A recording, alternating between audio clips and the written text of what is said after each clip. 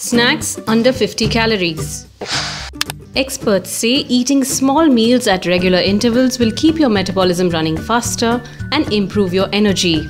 But who has time to sit and count calories all day? Especially if you have to make sure you don't go beyond the daily calorie limit of 2000 calories. So, here are some simple health foods that can keep you going and avoid hunger pangs between meals. Cheese. Surprised to see cheese on this list? Well, don't be. Parmesan cheese has more calcium than all other cheeses and is chock full of protein, both of which help metabolize fat. Just be sure to keep your portions in check. Sprinkle 2 tablespoons or just 42 calories on your salad for an incredible flavor boost that won't derail your diet. Puffed rice.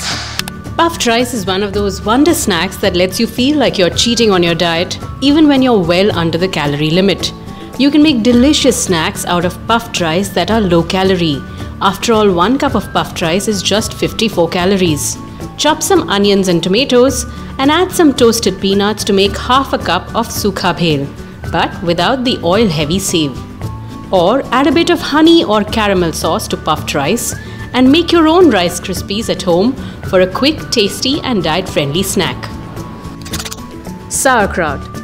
Made from fermented cabbage, Sauerkraut delivers healthy bacteria to your gut, which is essential for long term weight loss, and fills you up on fewer calories thanks to its high fiber content. 236 grams is just 44 calories.